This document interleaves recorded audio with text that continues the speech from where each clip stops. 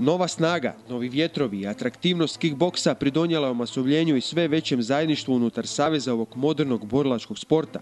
Ukupno 11 klubova unutar Zagrebaškog kickboksing saveza okuplja sve veći broj mladih željnih ne samo adrenalina, već i dobre rekreacije kroz ovaj sport.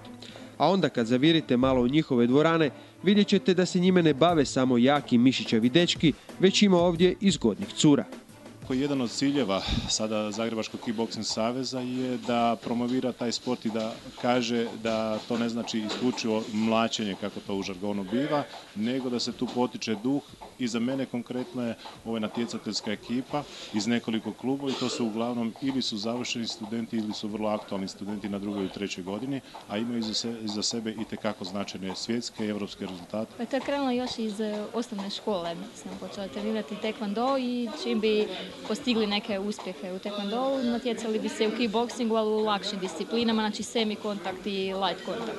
Još iz osnovne škole je ostala ljubav prema boročkim vještinama. Misleći na svakog sportaša, bio on vrhunski borac ili rekreativac, ljudi u Savezu tvrde kako ovo nije toliko opasan sport u cjelini, te ga preporučuju svima kao dobru metodu za bolji razvoj ruku, nogu, leđa i ostalih dijelova, te kao odličan ispušni ventil za psihu koja nam je danas najviše potrebna. Veliki naglasak na tu, na tu disciplinu, na samim trenizima, posebno na natjezanjima. Tako da imamo sve veći priljev mladih e, naraštaja, možemo tako reći, ali naravno opet ne toliko dovoljno, jer još uvijek, i to je jedan dugi proces, toga smo svjesni i na tome ćemo raditi, još uvijek je percepcija bilo koji borlački sport, a pogotovo ovaj, da je dosta, dosta grub i brutalan, ali to je samo iz nekog neznanja, odnosno nepoznavanja tog sporta.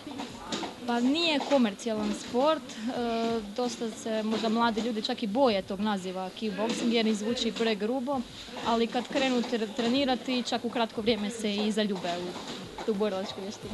Kickbox inače obuhvaća pet natjecateljskih disciplina i dijeli se na meke, semi-kontakt i light kontakt koje se obično izvode na tatamiju, te na tvrde, full kontakt, low kick i taj kickbox koji se razlikuju po jačini udaraca i pravilima a manevarski prostor je puno manji ring od svega 25 kvadrata. Da, super je sport za mlade, pogotovo da izgrađuju dobro karakter, se izgrađuju tako, uče se disciplini nekoj i ovaj sport im puno pomaže inače što se tiče posla, u odnosu u društvu i svemu. On baš i pozitivno usmjerava. Čovjek inače s najboljim rezultatima u prošloj sezoni, s osvojenih osam turnira, tri puta prva Hrvatske u K1, zajedno se sa cijelom svojom ekipom priprema za predstojeće europsko senjorsko prvenstvo.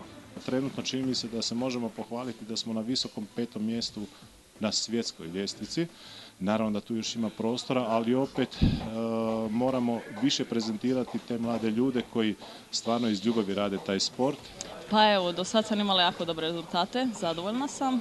Um, treniram tri pol godine i u to sam stvar u kratkom roku osvojila ovoga, dosta toga i jako sam zadovoljna. Sad idemo u Bilbao ovoga, na europsko prvenstvo i nadam se dobrim rezultatima. Trudimo se. To se iz priloženog i vidi. A kako će se vrednovati njihovi rezultati, znaće se uskoro nakon državnog prvenstva, kada ovisno o uspjehu moguće uhvatiti financijsku stipendiju koja nije rješenje životnog statusa, ali dobar pokazatelj tvoje uspješnosti.